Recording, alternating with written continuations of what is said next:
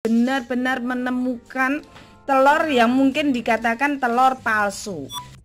Nih, kami kemarin memang sempat mendengarkan di media televisi ada telur palsu.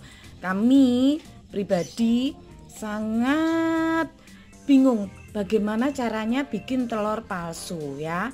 Dan ini ternyata saya menemukan benar-benar menemukan telur yang mungkin dikatakan telur palsu.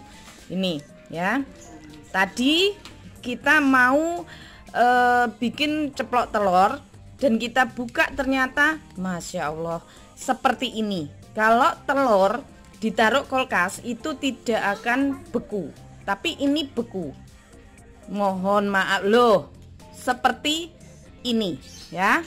Mohon pihak yang berwajib ya ini uh, diusut ini barang buktinya. Kami kami karena orang awam dengan seperti ini mungkin hanya akan kami sebarkan di grup-grup ya.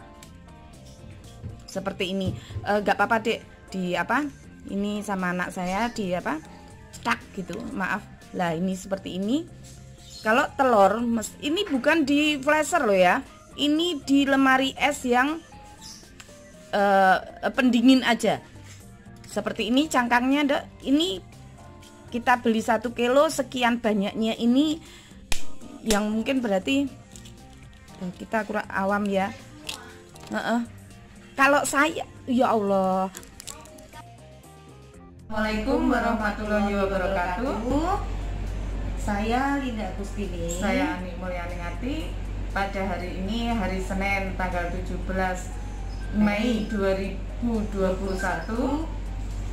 jam 4 sore ini kami berdua mau minta maaf mohon maaf berkaitan dengan uh, beredarnya video tentang telur yang diduga, yang diduga nggak asli atau mungkin adik bilang palsu itu kami karena kami orang, orang awam, awam dan sempat panik iya. akhirnya telurnya kami... berbentuk seperti itu mungkin ada ucap atau kalimat yang salah tentang ngomong kalimat telur palsu ternyata setelah kami konfirmasi dengan dengan dinas terkait.